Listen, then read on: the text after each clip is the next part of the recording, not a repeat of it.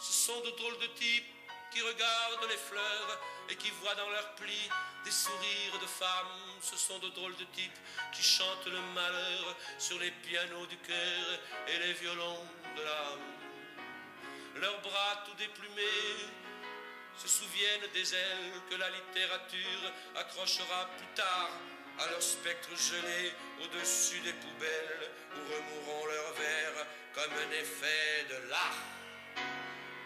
Ils marchent dans l'azur, la tête dans les villes, et savent s'arrêter pour bénir les chevaux. Ils marchent dans l'horreur, la tête dans des îles où n'abordent jamais les âmes des bourreaux. Ils ont des paradis que l'on dit d'artifice, et l'on met en prison leurs quatrains de dissous, comme si l'on mettait au fer un édifice, sous prétexte que les bourgeois sont dans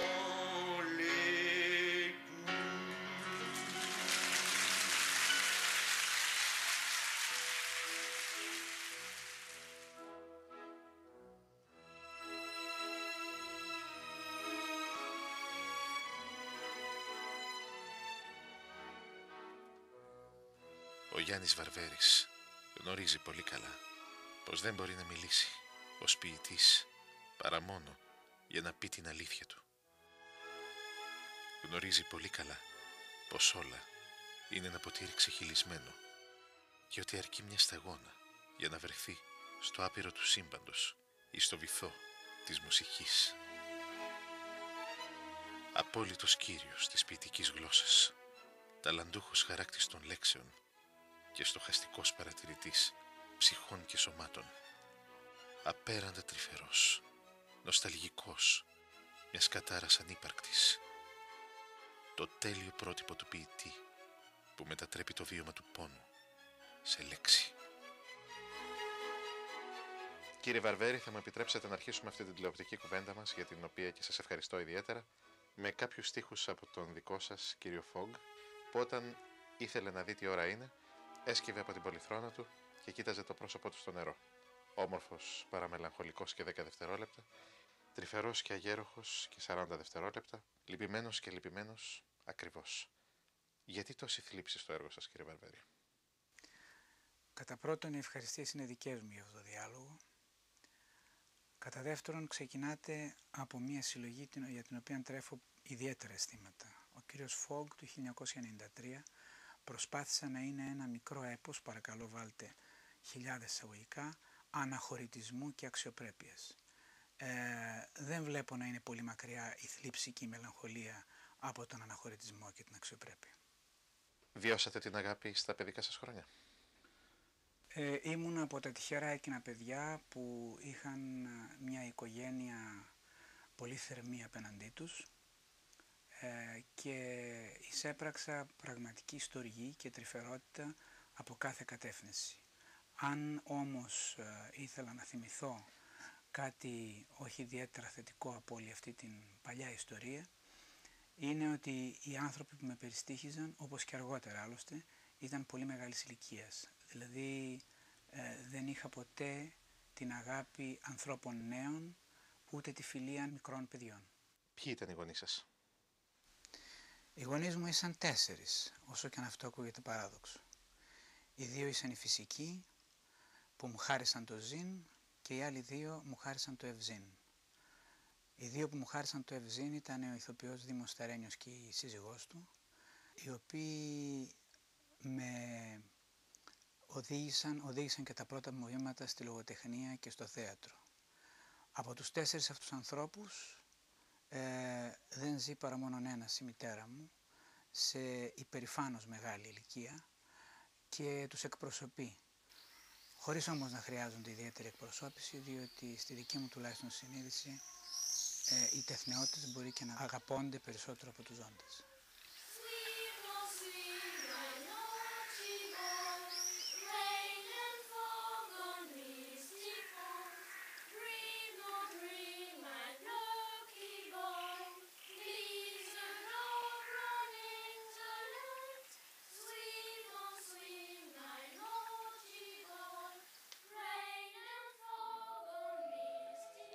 Σας. Είχα την τύχη να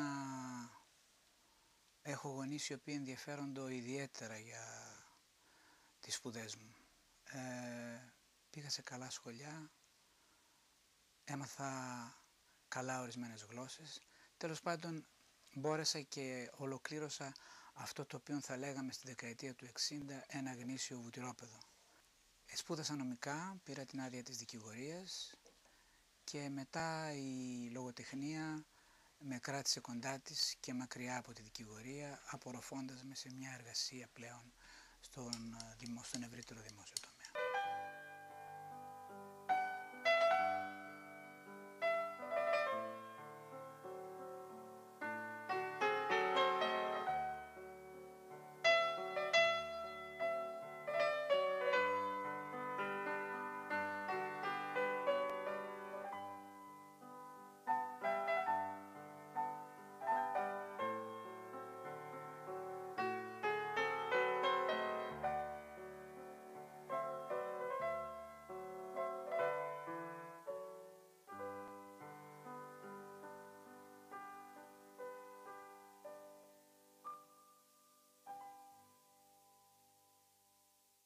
Ποια είναι τα βιβλία και γενικότερα οι επιρροές που σας διαμόρφωσαν αρχικά; Ο Καβάφης είναι κάτι το αυτονόητο για όλους μας.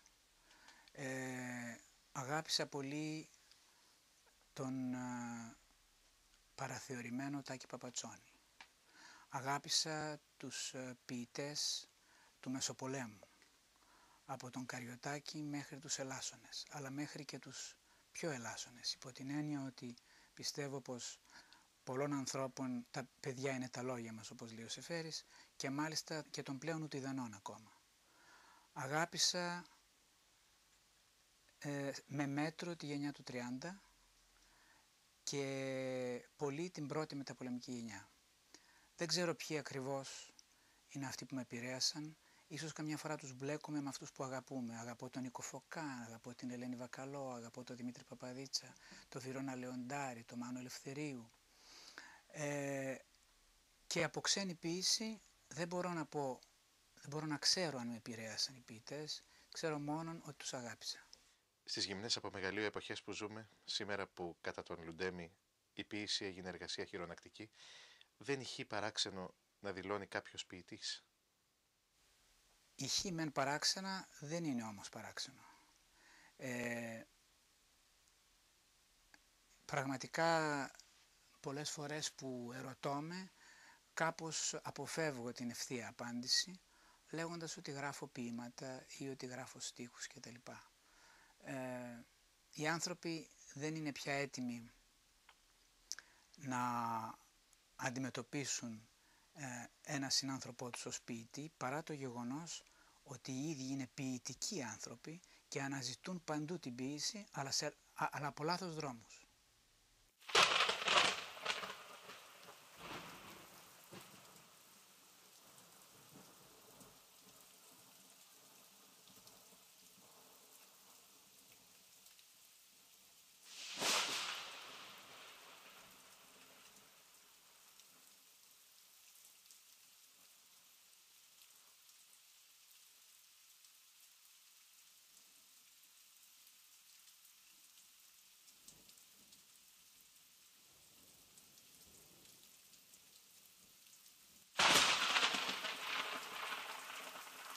«50 χρόνια μετά από το γενικό ξεπάστρεμα των πολέμων, όπως επισημαίνει ο Γιώργος Μανιώτης στο τελευταίο του βιβλίο, βιώνουμε τον πόλεμο της ειρήνης. Πώς επενεργεί μια παρατεταμένη παγκόσμια περίοδος τέτοιας ειρήνης πάνω στους ποιητές και την ποίηση. Φοβούμαι ότι ε, αμβλύνει την κοινωνική του συνείδηση και οξύνει την, ε, ε, την ατομική εμπειρία. Ε, ίσως κατά έναν τρόπο εκθυλίνει τις γραφές όπως εκθυλίνει και τις συνειδήσεις. Σε αντιδιαστολή με πολλούς ομοτεχνούς σας, δεν μπορείτε να πείτε, η πολιτεία σας αναγνώρισε. Είστε ένας βραβευμένος ποιητής. Με ποιο βραβείο; Δεν νομίζω ότι βραβεύτηκα εγώ και δεν το λέω από σεμνοπρέπεια. Βραβεύτηκε ένα σύνολο ανθρώπων που ίσως αποκαλείται γενιά του 70 και στο δικό μου πρόσωπο. Πιστεύω ότι είναι μια συλλογική δουλειά, διότι δεν υπάρχει ίσως, κατά τη γνώμη μου, ε, καμιά μορφή που ε, σε- μέσα σε αυτό τον ε, περίγυρο που να είναι δεσπόζουσα. Τώρα ως προς τις δικές μου τέλος πάντων επιβραβεύσεις ε, ήταν το βραβείο Καβάφη του 2001 και το βραβείο του περιοδικού Διαβάζω το 2002. Ωστόσο πρέπει να σας πω ότι όταν απονεμήθηκαν αυτές οι διακρίσεις ε, αισθάνθηκα και πάλι σας λέω χωρίς σεμνοπρέπεια αισθάνθηκα ένα είδος οδύνης γιατί ε, οδύνης και, και εδούς γιατί όταν πρέπει να συμφιλιωθείς ε, με μια δημόσια επιδοκιμασία που αφορά ένα καθαρά ιδιωτικό γεγονός καταλαβαίνετε ότι αυτό είναι δύσκολο και κακοτράχαλο ψυχικά.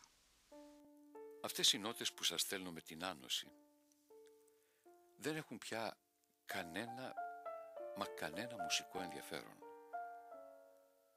Από τον καιρό του ναυαγίου που αργά μας όριασε τους δυο ως κάτω στο βυθό, σαν βάρος έκπληκτο, το πιάνο του ολόφωτου υπεροκεανίου κι εγώ έχουμε γίνει μάλλον μια διακόσμηση πυθμένος, μια υπόκοφη επίπλωση βυθού, ένα λουλούδι εξωτικό. Ή ένα τεράστιο όστρακο φωλιά υποκάμπων, διάδρομος ψαριών που όλο απορούν προς την ασπρόμαυρη αυτή μνήμη του παπηγιών, των πλήκτρων, του κολάρου. Κι αν σε καμιά βαρκάδα σας διακρίνεται στην ήρεμη επιφάνεια τρεις, πέντε, δέκα φυσαλίδες σαν ντο και σόλ και μη μη φανταστείτε μουσική. Είναι λίγη σκουριά που όταν θυμάται πιέζει και ανεβαίνει. Γι' αυτό να μην ανησυχείτε το πιάνο μου κι εγώ είμαστε εδώ πολύ καλά. Εκπνέοντας ίσως πότε πότε νότες άσχετες. Αλλά μες στην ασφάλεια πλήρους ναυαγίου. Και ιδίως μακριά επιτέλους από κάθε προοπτική πνιγμού.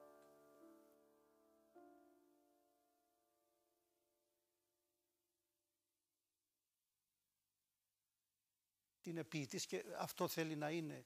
Είναι πραγματικά ένας από τους σημαντικότερους ποιητές μας. Είναι ένας άνθρωπος που κατορθώνει και συγκεντρώνει και ενώνει και δημιουργεί σαν συγκοινωνεί τα δοχεία τις, όλες τις αντιφάσεις του. Δηλαδή, ενώ φαίνεται ότι ηρωνεύεται, ότι σαρκάζει το συνέστημα, στο τέλος καταλήγει στο συνέστημα. Ενώ σαρκάζει το μελό, βλέπεις ότι πώς το γυρίζει, πώς, πώς το ενώνει και ξαφνικά δείχνει σαν να λατρεύει το μελό. Ε, όλα α- αυτά τα κατορθώνει και τα, τα κάνει σε ένα ενιαίο σύνολο. Είναι ένας π- πάρα πολύ ωραίος ποιητής, παρακμιακός ποιητής ε, και τον βολεύει η εποχή μας που είναι μια εποχή παρακμής γιατί μπορεί και σαρκάζει περισσότερο, αυτοσαρκάζεται, ηρωνεύεται, ε, είναι πολλές φορές μακάβριος. Μου τράβηξε την προσοχή κάτι που είπε για σας ο Κώστας Μουρσελάς. Λέει, πιστεύω ότι η εποχή μας ταιριάζει στο Βαρβέρι. Η παρακμή της του δίνει φτερά, τον ενθουσιάζει, τον απογειώνει, το επιτρέπει να ανθίσταται σαρκάζοντας.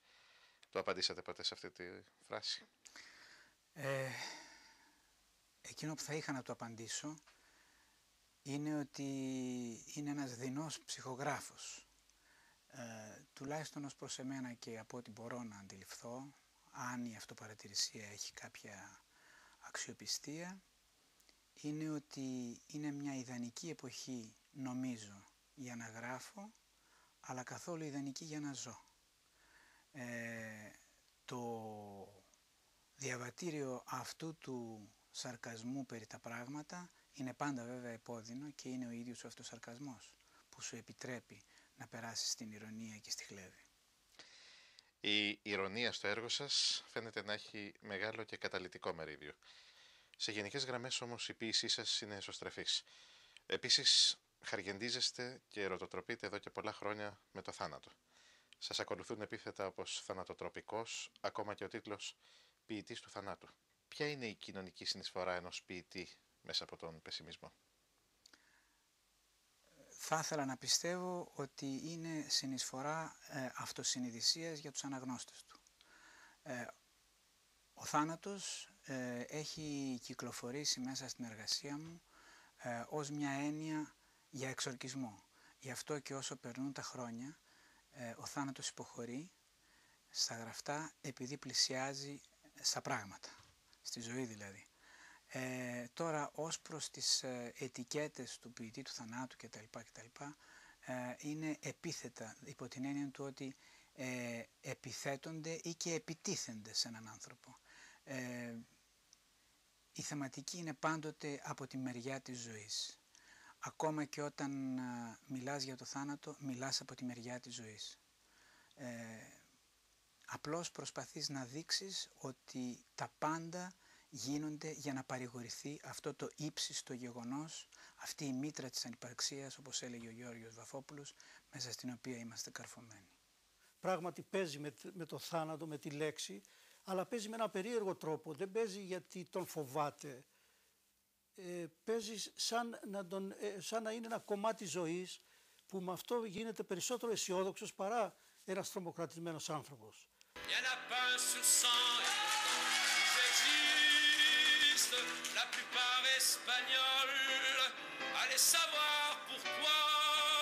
Pourquoi on ne comprend pas.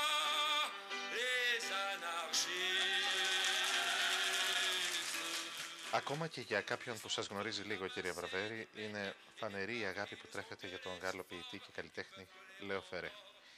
Έχετε μεταφράσει η ποίησή του και γενικότερα τον έχετε παρακολουθήσει στενά. Σας θέλει αυτή καθ' αυτή η ποίησή του ή μήπως πιο πολύ ο αναρχικός τρόπος ζωής του; Θα έλεγα το δεύτερο, αλλά δεν συμβαίνει μόνο για τον Λεό Φερέ. Ε, συμβαίνει για όλο το γαλλικό τραγούδι που με έχει απασχολήσει από μικρής, από μικρής ηλικίας και που ήταν ένα από τα στοιχεία που με επηρέασαν και στη γραφή μου και που ξέχασα προηγουμένως να σας το αναφέρω. Παραδείγματος χάρη ο Σαλτρένε, ο Ζορς Μπρασένς με τις μπαλάντες του, ο Ζακ Μπρέλ, η Μπαρμπαρά, όλη αυτή η γενιά του 50 που ε, μέσα από τον υπαρξισμό ε, κατόρθωσε να δημιουργήσει ένα σύμπαν ποίησης και μουσικής ε, είναι ιδιαίτερα κοντά μου ή μάλλον για να κρυβολογώ είμαι ιδιαίτερα κοντά της. Ο Γιάνν Σιμπέλιους έγραψε το 1937 ότι ποτέ δεν στήθηκε άγαλμα σε κριτικό της τέχνης. Εσείς ωστόσο αποσπάσατε κρατικό βραβείο για τις κριτικές σας. Κάποιοι βέβαια που καταποντίστηκαν μέσα από αυτές δεν πιστεύω να χαρήκανετε τόσο. Έτσι δεν είναι.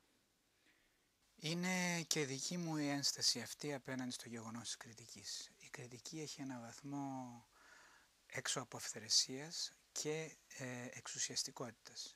Γι' αυτό θα ήθελα να σας εξομολογηθώ ότι όσο έγραφα κριτική θεάτρου σε λογοτεχνικά περιοδικά και όχι σε εφημερίδα όπως τώρα, ήμουν περισσότερο ευτυχής και πάντα είμαι περισσότερο ευτυχής όταν η θεατρική κριτική δημοσιεύεται αντίθετα προς τα ιωθώτα μετά το τέλος μιας παράστασης.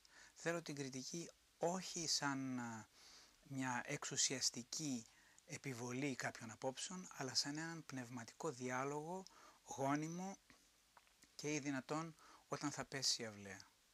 Ε, από την άλλη πλευρά, αυτή η εξουσιαστική, ε, ο εξουσιαστικός χαρακτήρας της κριτικής έρεται όταν σκεφτεί κανείς πως εξουσιαστικό είναι τε- το ίδιο το καλλιτεχνικό ερέθισμα όταν δεν υπάρξει κανένας είδους έλεγχος.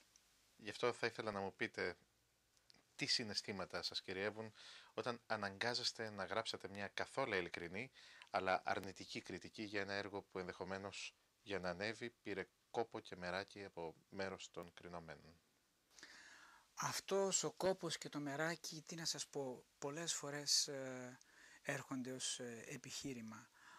Είναι πραγματικά συγκινητικό όλο αυτό το πράγμα, αλλά εν τη αυτή περιπτώσει και εγώ ή φαντάζομαι και εσείς, αν κάναμε πάρα πολλές πρόβες για να χορέψουμε τη λίμνη των Κύκνων, το περισσότερο που θα μπορούσε να γίνει θα ήταν να παγώσει η λίμνη. Ε, τώρα, από εκεί και πέρα, ήθελα λίγο διαμακρόν να σας απαντήσω με ένα αρχαίο ανέκδοτο. Γιατί όλοι οι ηθοποιοί και οι καλοί και οι κακοί, όλοι οι άνθρωποι του θεάτρου είναι θετικοί σε αυτή την ιστορία. Είτε επιτυγχάνουν είτε αποτυγχάνουν. Κάποτε ο Διογέννης ο κοινικός, ο φιλόσοφος, βρέθηκε στην εκκλησία του Δήμου, όπου και άλλοι μαζεμένοι. Εκεί με μια κιθάρα τραγουδούσε και έπαιζε ένας τεράστι, τεραστίων διαστάσεων άνθρωπος. Αλλά έπαιζε δυσίχως και δυσαρμονικός. Όπως παραδείγματος χάρη είναι οι κακοί καλλιτέχνες. Του παραδείγματός σας, της ερωτήσεώς σας. Μόλις τελείωσε ένα άδει και ένα κιθαροδί, ε, οι πάντες ε, έμειναν σιωπηλοί εκτός από το Διογέννη, ο οποίος άρχισε να χειροκροτεί. Οπότε και οι περιστάμενοι τον ρώτησαν, μα γιατί χειροκροτείς εφόσον αυτός τόσο δύσυχα και δυσαρμονικά τραγουδάει και κιθαροδεί; Και ο Διογέννης απήντησε, αλλά αυτός λέει, παρότι είναι τέτοιων διαστάσεων και τέτοιας μυϊκής δυνάμεως, δεν φωνεύει, δεν κλέπτει, αλλά κιθαροδεί.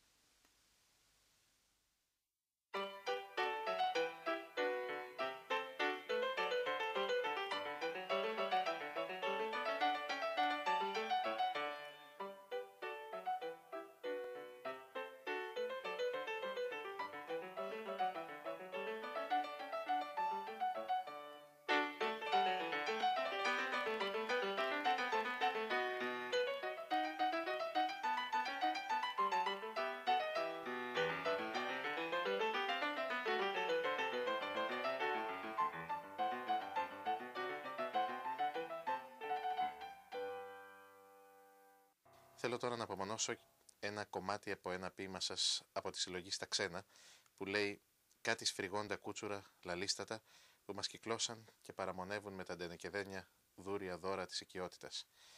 Η νεολαία όμως, κύριε Βαρβέρη, σας αγαπάει. Εσείς τι σκέφτεστε για την νεολαία; Εγώ εύχομαι να είναι καλά και ή δυνατόν να ξεκινήσει να διαβάζει. Από εκεί και πέρα στη ζωή μου οφείλω να σας ομολογήσω με ταπεινότητα ότι δεν έκανα τίποτε ιδιαίτερο για να αρέσω στη νεολαία, όπως μπορεί να έκαναν άλλοι. Ε, η νεολαία θα γεράσει και θα κάνει τις επιλογές της σιγά σιγά. Νομίζω ότι αυτός ο φιλονεϊσμός τον οποίο πολλοί προβάλλουν ε, είναι ένα ψεύτικο πράγμα. Ε, εκείνο που είναι αληθινό ε, είναι ότι αγαπάμε τους ανθρώπους της γενιάς μας, αυτούς με τους οποίους έχουμε κοινά βιώματα. Αν τα βιώματά μας αυτά που έχουν περάσει μέσα στην τέχνη μας μπορέσουν να συγκινήσουν τους νεότερους, τόσο το καλύτερο, αλλά ως εκεί. Υπάρχει μια τάκα που ξέφυγε από τα βιβλία σας και γράφτηκε στους στίχους της νομικής και των εξαρχείων. Ο θάνατος το στρώνει. Τι σκέφτεστε όταν περνάτε και τη διαβάζετε; Σκέφτομαι ότι εγώ το έγραψα με εντελώς άλλο τρόπο από τον οποίο το σκέπτονται και το έγραψαν αυτοί που το έγραψαν. Ε, δεν μπορώ να σας κρύψω ότι ε, αισθάνομαι μία συγγένεια καθώς αναγνωρίζω τη φράση στους στίχους, αλλά δεν είναι εξαίματος πια. Έχει γίνει συγγένεια Εξαγχιστής. εξαγχιστίας.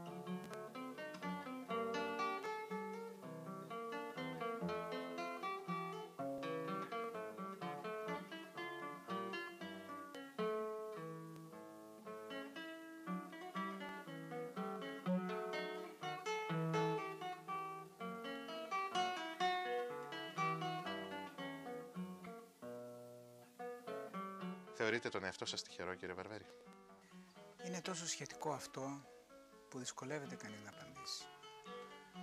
Πιστεύω πως κάθε άνθρωπος θεωρεί τον εαυτό του λιγότερο τυχερό από όσο θα μπορούσε να είναι. Έτσι το πράγμα γίνεται αρκετά ρευστό και χάνουμε τα μέτρα και τα σταθμά. Νοσταλγείτε την εποχή της αθωότητας. Γενικώς πρέπει να σας ομολογήσω ότι είμαι ένας άνθρωπος που συστηματικά έως και εξ επαγγέλματος νοσταλγεί. Α, αλλά αυτή η νοσταλγία της αθωότητας Θα έλεγα περισσότερο ότι είναι μια νοσταλγία εντιμότητας για τους ανθρώπους που έχουν διαβεί ε, έναν ορουβίκονα ηλικίας. Τι ετοιμάζετε τώρα; Ξέρετε αυτό το ερώτημα, χωρίς να θέλω να φανώ ευγενής, μου φαίνεται λίγο περίεργο. Εγώ δεν είμαι τραγουδιστής, δεν είμαι ηθοποιός για να ετοιμάζω κάτι τώρα. Άλλωστε πολλοί που το ρωτάνε ορισμένες φορές, τους απαντώ ότι διαβάστε αυτά που έχουν ήδη γραφτεί και αφήστε τι, τι ετοιμάζω τώρα. Ούτως ή αλλιώς ένας άνθρωπος γράφων, δεν λέω ποιητής, ένας άνθρωπος γράφων, πάντα ετοιμάζει κάτι εν πρόοδο. Είτε το ετοιμάζει καθαρά στο μυαλό του, είτε το εκτελεί. Νομίζω πολύ σημαντικότερη είναι η πρώτη διαδικασία.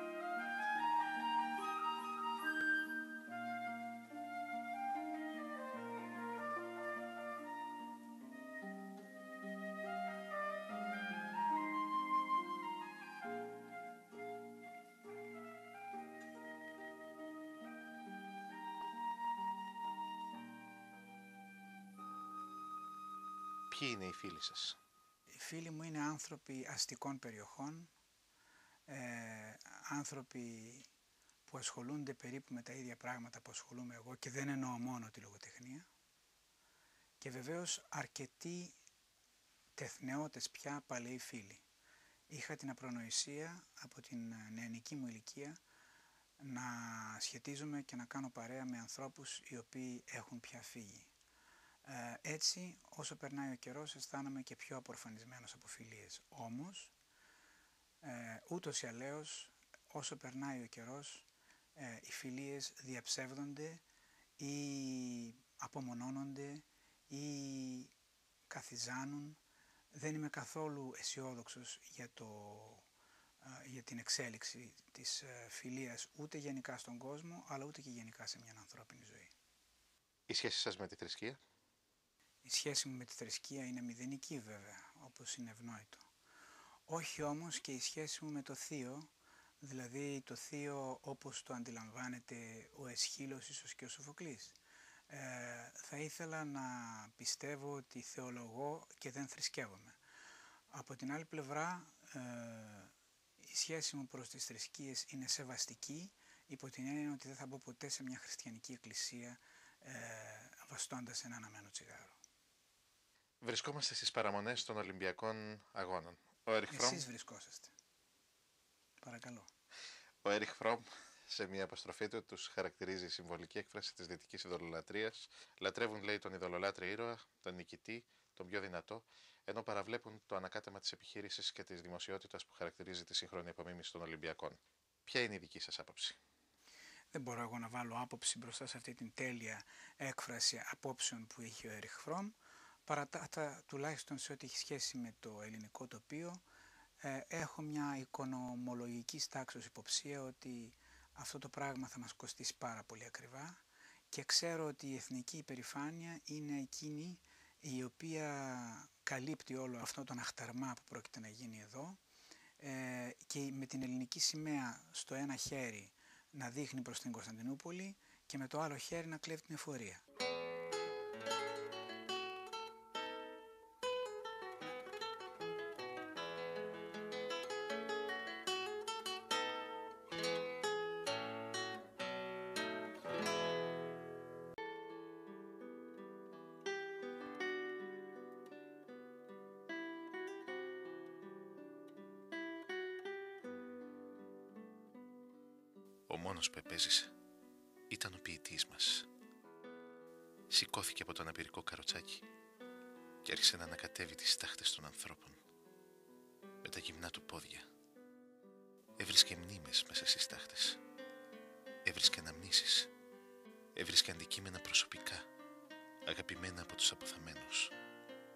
Έσκυβε, τα σήκωνε, τα έβαζε στο δισάκι του και ύστερα έκανε ποίηματα που σαν τρελός τα διαλαλούσε. μέσα στη γύρω ερημιά. Πού έβρισκε τη δύναμη να κάνει τόσα ποίηματα μέσα στην απέραντη σιωπή; Κάτι ήθελε να μας πει με αυτή την πράξη του. Μήπως φοβόταν τη μοναξιά και ήθελε να ακούει τη φωνή του; Ποιος ξέρει. Μήπως ήθελε να αναγγείλει στο νεκρό τοπίο ένα γύρο; Ότι δεν άξιζε στη μοίρα μας ένα τέλος τόσο σκληρό και βίαιο. Μήπως ήθελε να βροντοφωνάξει στα πέρατα του ουρανού ότι η ζωή μας δεν έπρεπε να λήξει τόσο γρήγορα; Ότι η ζωή μας διψούσε για συνέχεια;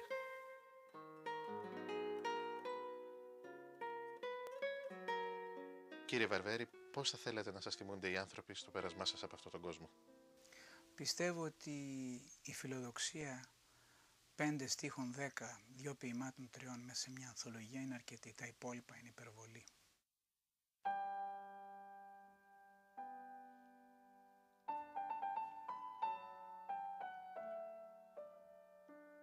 Είμαστε άνθρωποι πικραμένοι.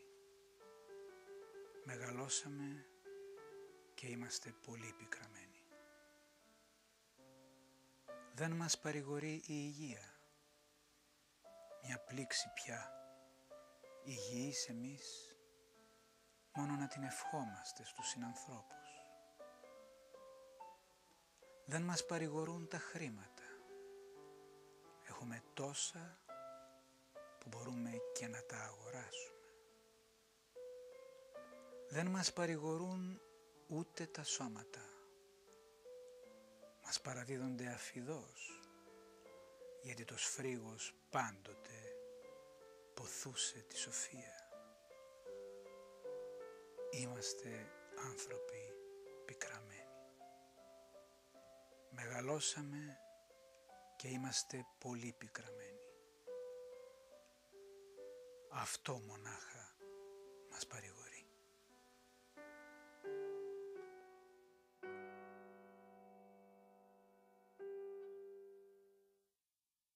Yesterday, the moon was blue, and every crazy day brought something new to do.